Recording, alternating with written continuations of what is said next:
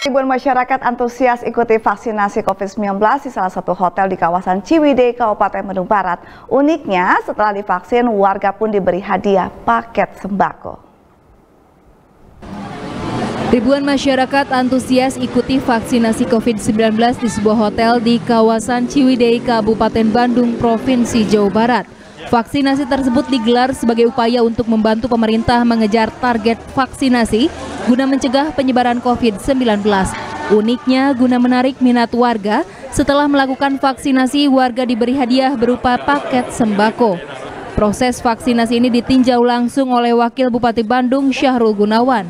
Orang nomor dua di Kabupaten Bandung tersebut pun mengapresiasi kegiatan vaksinasi tersebut. Kita punya semangat yang sama, satu frekuensi untuk bagaimana percepatan vaksinasi ini bisa terselenggara di Kabupaten Bandung.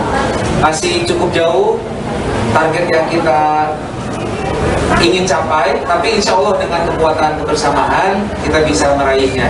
Kami sebenarnya e, mengapa tiga desa, tiga kecamatan karena memang itu adalah e, lingkungan yang kami sehari-hari menjadi e, apa berinteraksi dengan tiga desa, tiga kecamatan tersebut. Dan ini sebenarnya e, tergantung dari e, pemerintah daerah. Kalau misalnya lokasi itu memang sudah selesai semuanya, insya Allah kita bisa menyebar ke ke desa lainnya, kecamatan lainnya. Dalam kegiatan vaksinasi tersebut ditargetkan sebanyak 3.000 warga, khususnya masyarakat pedesaan di kawasan Ciwidey. Rezi Tia Prasaja, Bandung TV.